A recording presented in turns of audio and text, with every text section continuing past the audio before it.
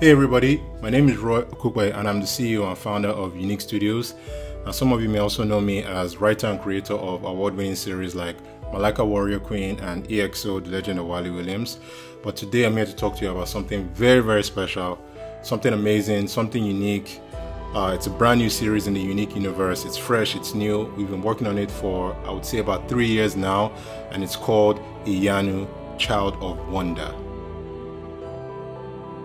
Iyanu chronicles the journey of a teenage orphan girl with no recollection of her past who suddenly discovers that she has abilities that rival the ancient deities of her people. It is these abilities that are the key to bringing back the age of wonders and saving a world on the brink of destruction at the hands of the corrupt, cursed wildlife and divine beasts determined to destroy humanity. I created Iyanu for kids, teenagers, adults, families, basically anyone and everyone who loves a great fantasy coming of age story.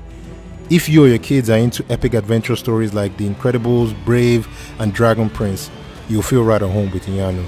Similar to those titles, Iyanu does not shy away from the use of epic fantastical elements to shape its story and characters, but on a deeper level, these elements are used to illustrate one central truth light will always overcome darkness.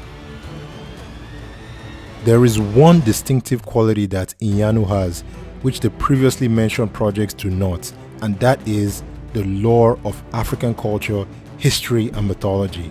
Everything, and I do mean everything in Iyanu costumes, architecture, politics, names, locations, and more everything is inspired by Yoruba culture.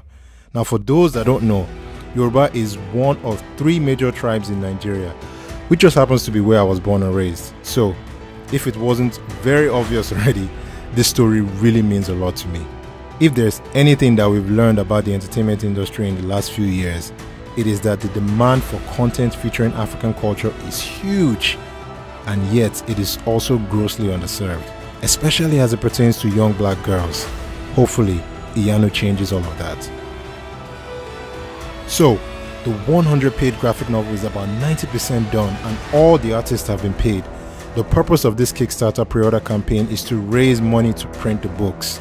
That being said, I hope you're just as excited about Iyanu as we are.